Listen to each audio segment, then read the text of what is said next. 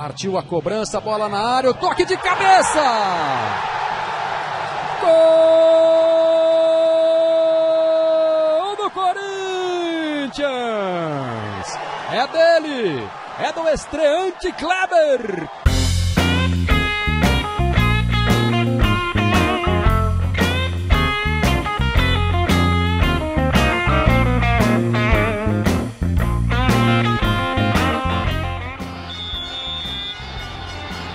Bateu enfim o Jadson. O toque de cabeça do Kleber pro gol!